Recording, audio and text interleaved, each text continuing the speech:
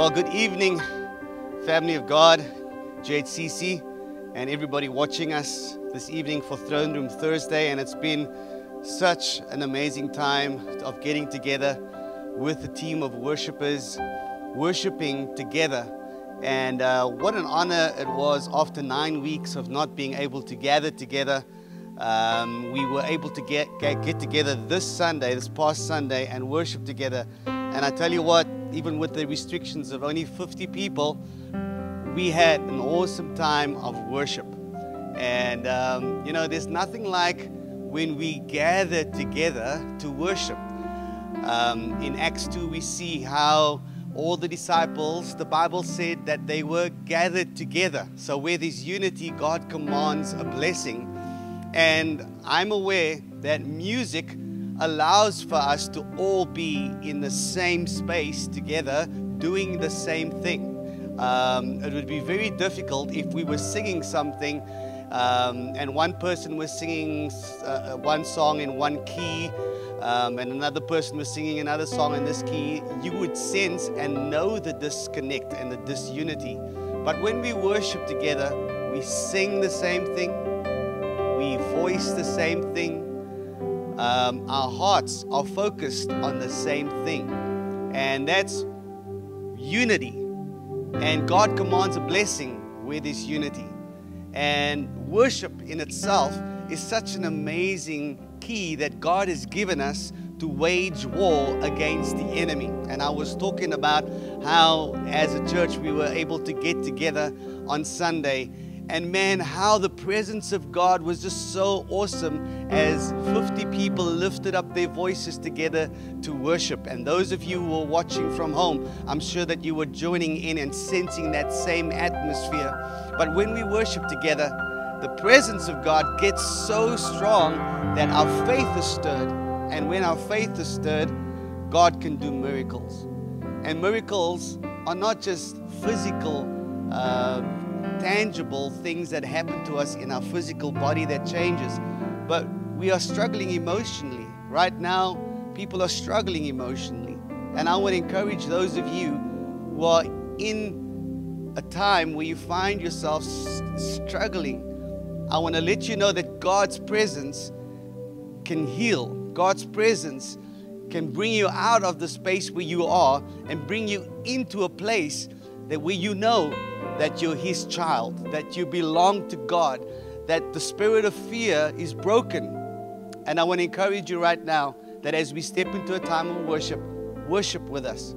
Lift up your hands, abandon yourself in His presence, and allow His presence to just wash over you and heal every aspect of your life. Let's spend some time in worship together.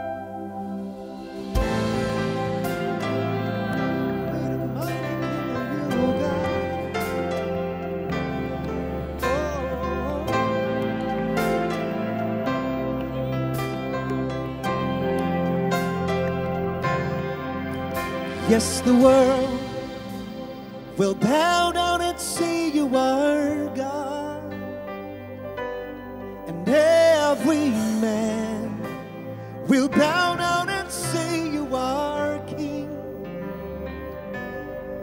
So let's start right now.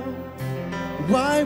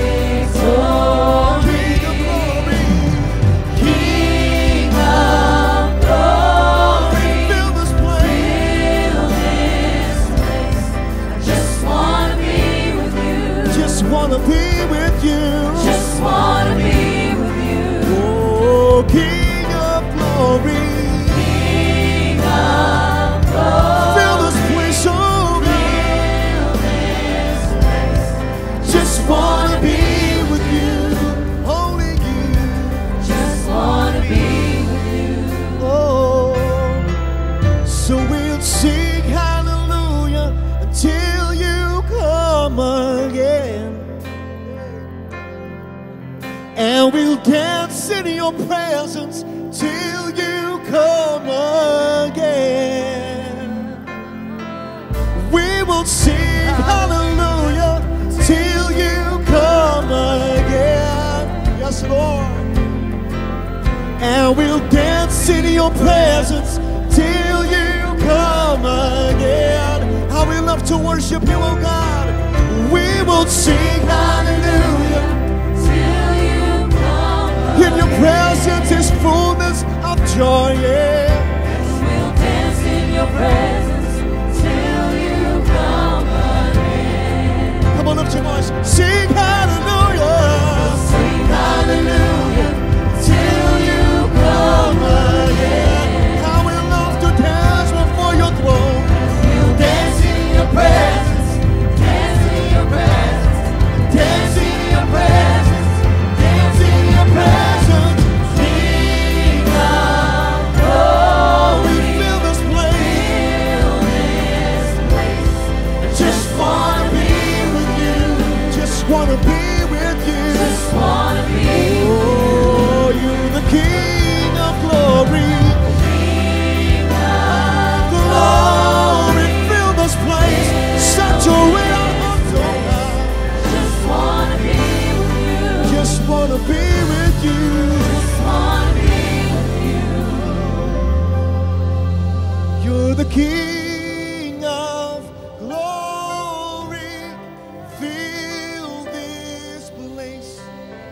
You're the King of all power.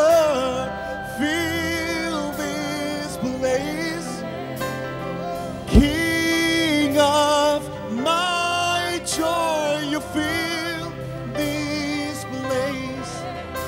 You're the King.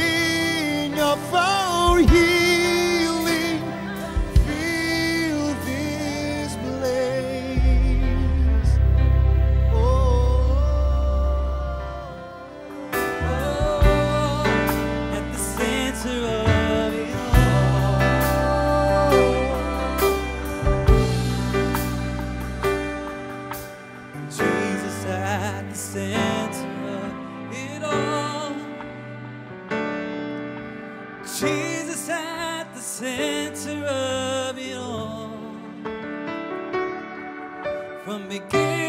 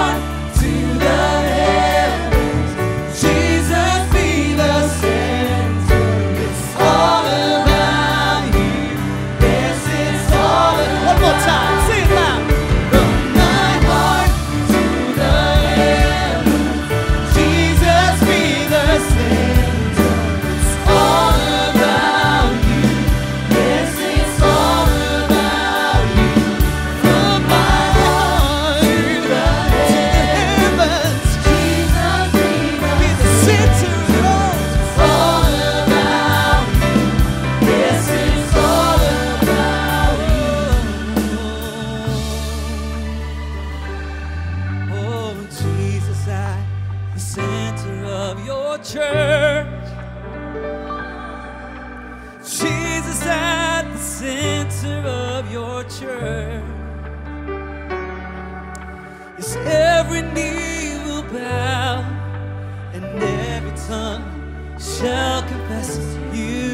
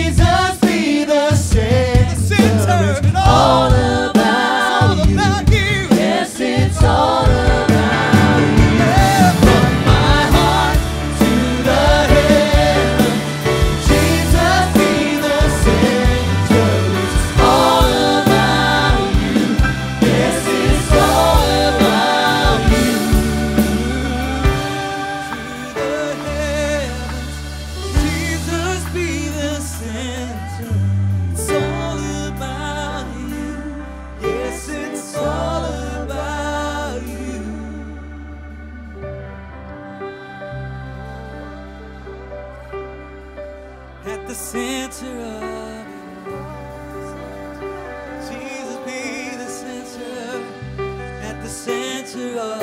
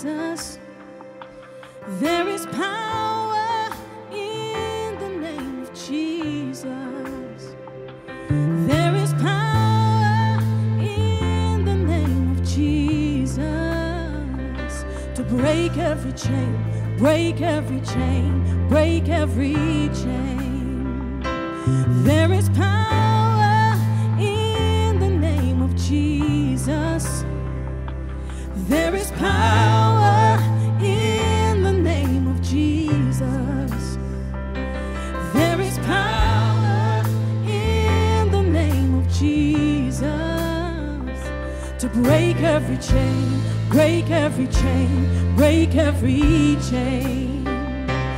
There's an army rising up.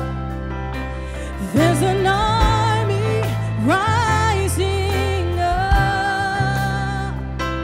There's an army rising up to break every chain break every chain, break every chain. Oh, there's an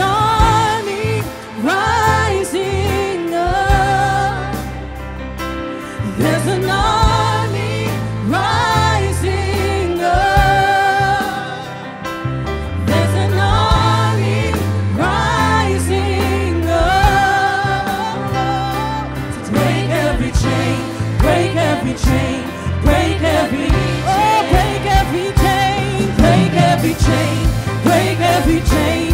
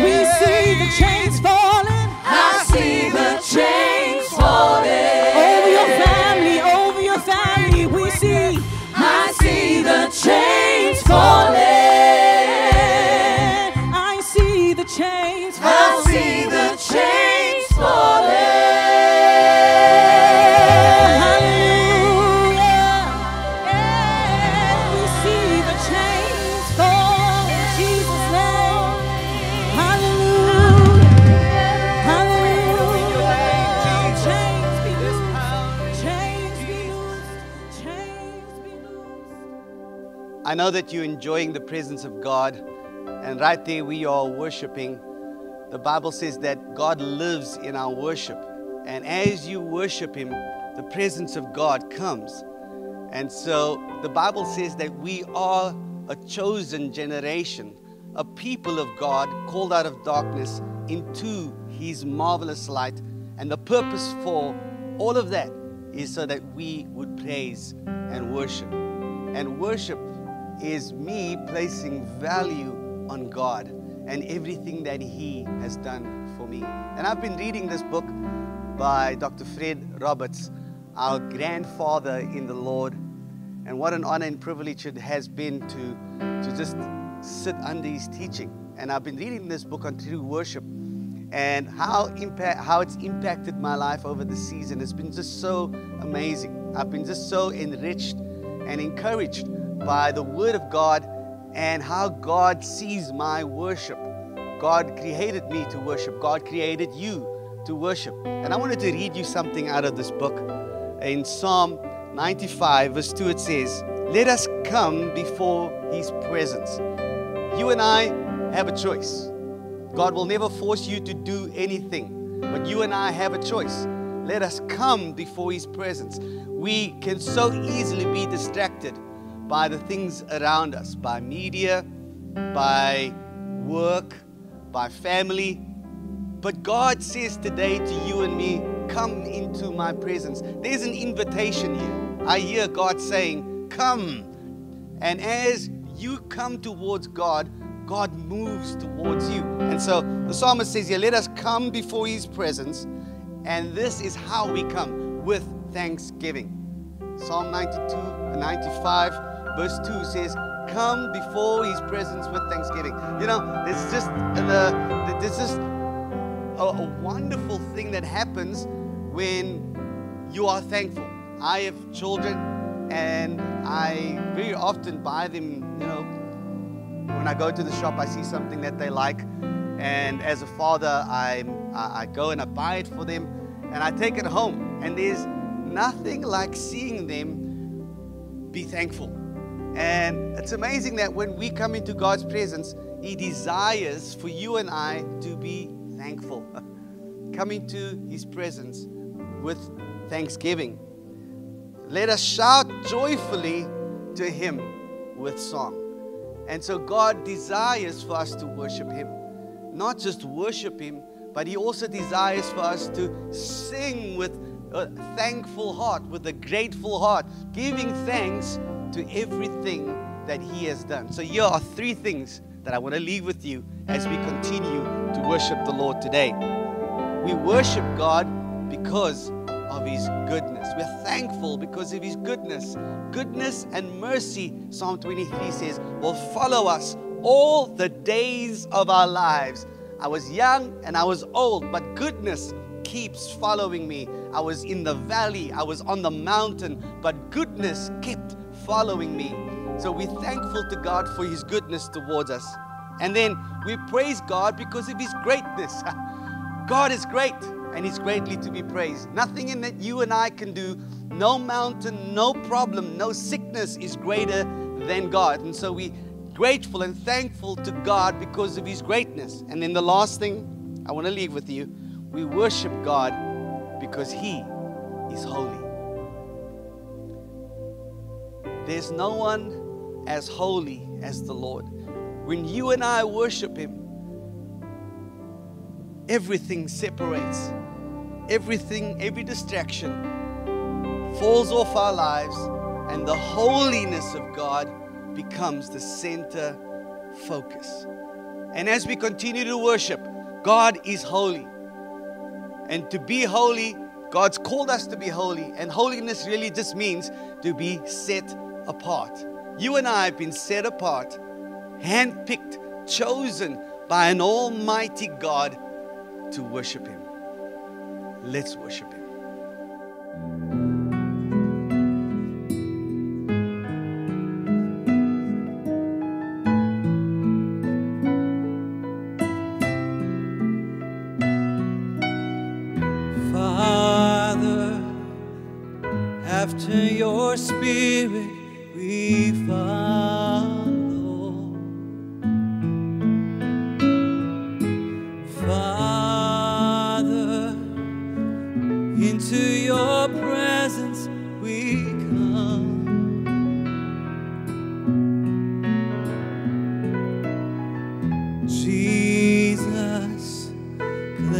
Us and free us from every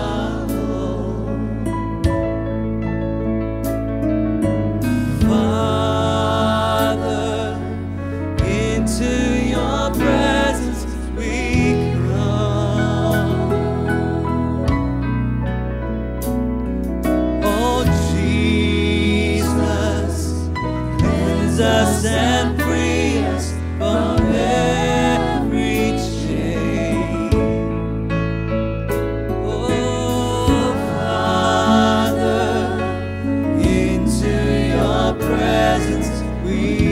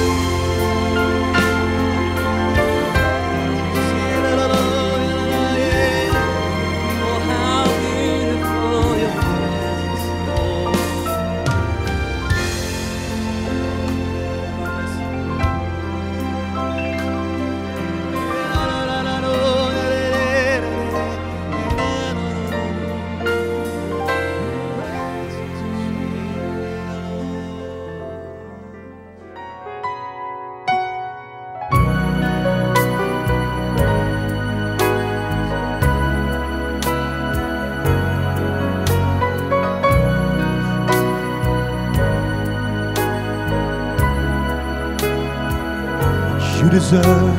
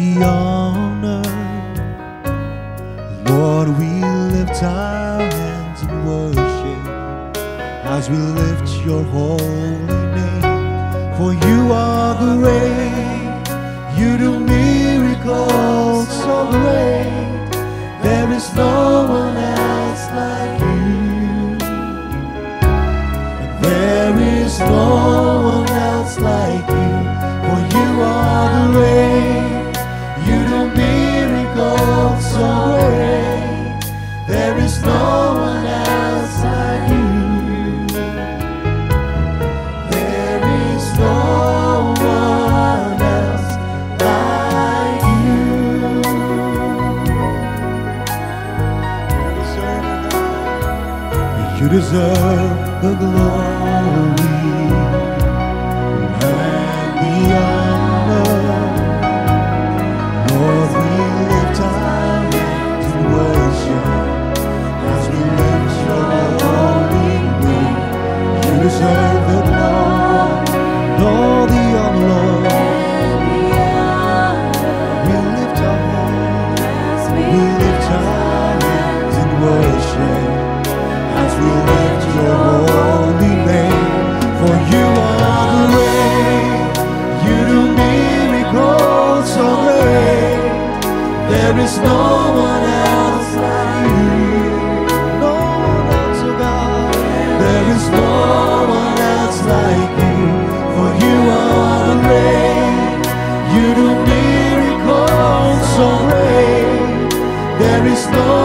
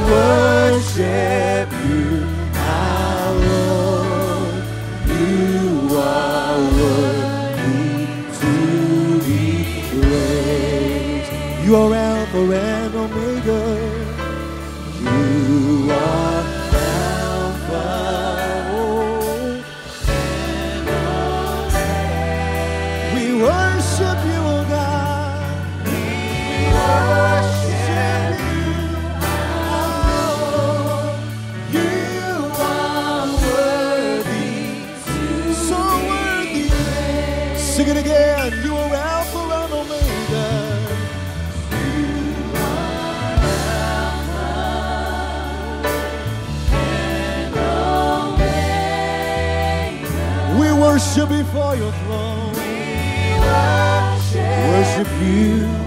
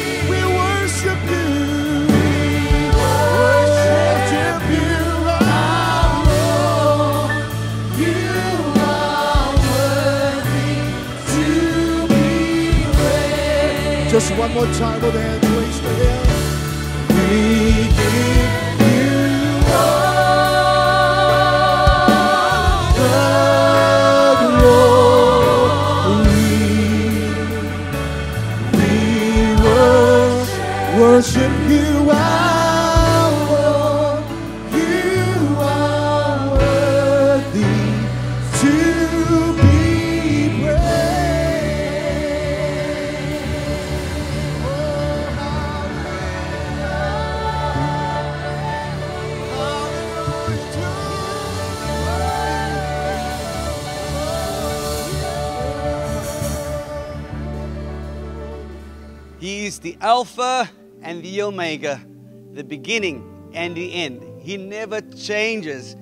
He's always the same yesterday, today, and forever. We hold fast to the fact that He doesn't change. His goodness towards us, His greatness, and He's a holy God. And as you've worshiped with us um, in this great atmosphere, I want to encourage you to share this with someone that you know needs help today. The presence of God, in His presence, there is joy unspeakable and full of glory, and His presence can change everything in our lives. All we need is a touch of His presence. I want to encourage you right now to go to ghcc.tv and sow a seed. All the instructions that you need to give is right there on our website, and giving is part of our worship. So I would encourage you to go there right now, sow your tithe, and give an offering right now as we've worshiped the Lord together. Also, share this with someone that you know will be encouraged by this time of worship.